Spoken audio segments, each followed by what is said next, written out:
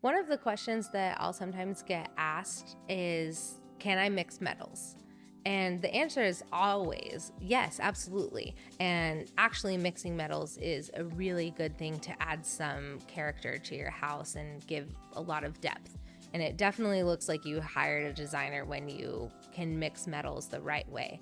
But then there's definitely a wrong way to mix metals, and that's when you go way too far with mixing metals. I like to stick to two. I would prefer not to see a kitchen where we have a matte black faucet with gold hardware and a chrome light pendant.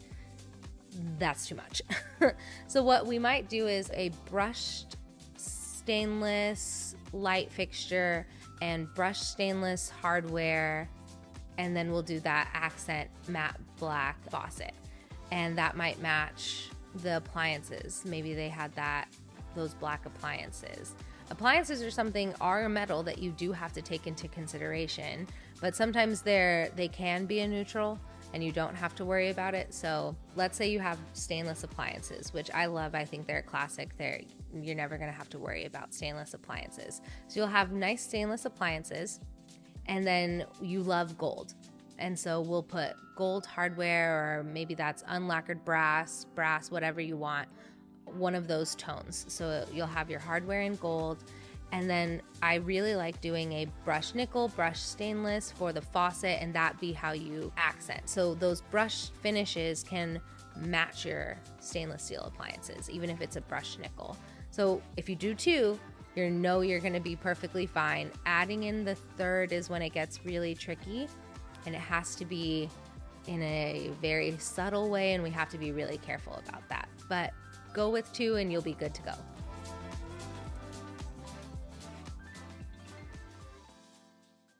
Everybody talks a big game about quality.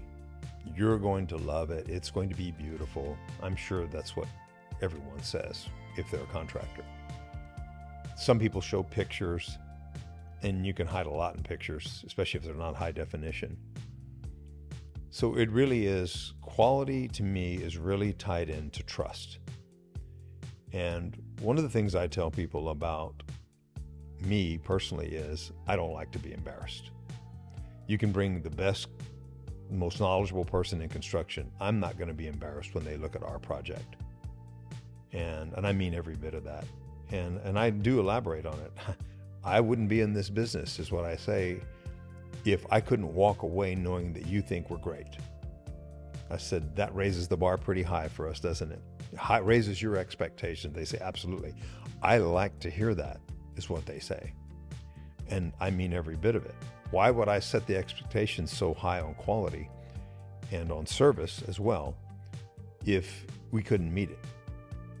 And and I basically tell them if we if I want my company to be this level, the best, and I want you to think of us the best, don't we have to all set that expectation and then hold everybody to it?